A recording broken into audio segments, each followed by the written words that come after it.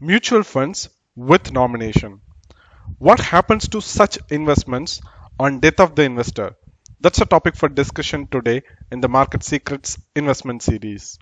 Before we get started, I'd like to mention that we at Market Secrets had recently launched Algo Traders program ATP. If you are someone who is interested in learning end-to-end algo trading, then you can consider joining our ATP program. I'll leave the link to it in the description section of this video. And with that note, let's jump into today's session on what happens when the investor dies, leaving the mutual funds with nominations. And I'd like to clarify here that we are talking about only the mutual funds which is held in non-demat form. For the demat form, the process is completely different. So check whether you are holding the mutual funds in demat form or non-demat form. So first, let's start with some assumptions for this particular scenario okay. So the first assumption is we have only one nominee for our mutual fund account. So we have nominations. That's the scenario. So you can assume that there is just one nominee and that nominee is also a major. Also it's not a joint account. It's a sole holder account.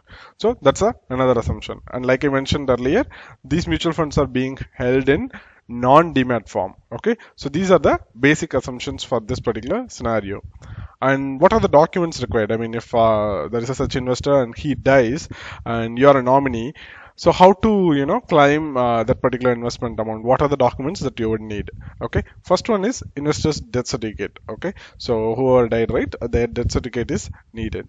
And your pan card. I mean if you are the nominee um, you know you need to have your pan card and you need to have your KYC documents sorted or if you are, you are already KYC compliant right that acknowledgement should be uh, good enough. And uh, your cancelled uh, check leaf okay? You need to give your bank details and it can be given in the form of cancelled check.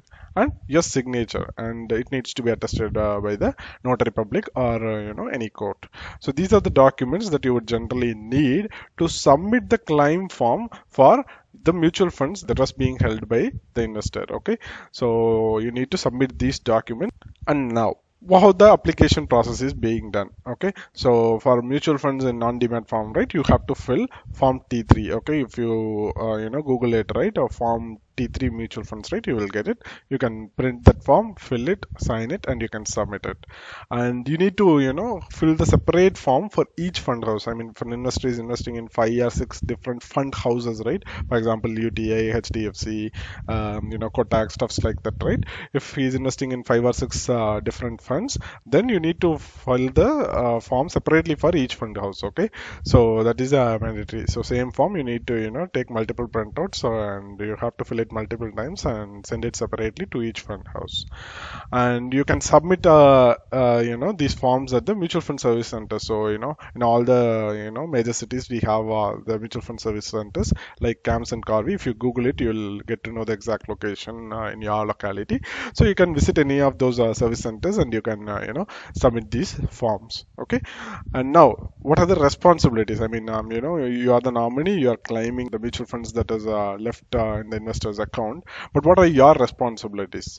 So first thing is uh, once the funds are uh, transferred to you right you can redeem those uh, mutual funds anytime okay? So you can uh, redeem it at your own will but there is a catch you will be remain i mean the nominee will remain liable to the legal heirs of the deceased in accordance with the law. So uh, nominee is nothing but someone who will temporarily hold whatever money that was uh, in the investor's account. I mean this is applicable almost for all the type of investment. If your uh, name is given as a nominee for any of the accounts you will not get to keep all that amount okay? Just be very clear okay?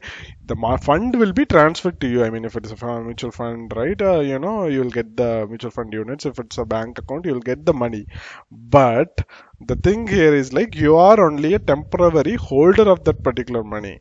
What you need to do is like you need to distribute it properly among the legal heirs that is uh, uh, something that you need to know. I mean if you are nominee you won't get to own it. You just to, uh, get to keep it until the legal heirs of the deceased uh, you know claim that amount It's as simple as that. So what is happening here is like mutual funds or even if they take banks, right? They're just passing over the responsibility to the nominees. So they don't want this additional or legal headaches. So they are just uh, you know transferring that particular responsibility to you. That is the nominee, and you know you will have to break your heads with the legal layers you to settle this uh, balances. So just make sure you're clear on that. Okay, you won't get to own it even though you are a nominee. You're just uh, you know temporary holder until the legal case come and claim that amount. So this is how uh, you know you need to claim the money when some investor dies, leaving you as a nominee for any of the mutual funds that they are holding in non-demat form. So with that, we've come to end of today's episode. If you have any queries, comments, or feedback, let me know in the comment section. I'll be happy to address it. Also, hit the like button if you have liked this video and share it with your friends if you find it useful. Also, subscribe to our YouTube channel and click the bell icon to get notified whenever we upload a new video, or conduct a live session. Thanks for watching. Have a great day. Goodbye.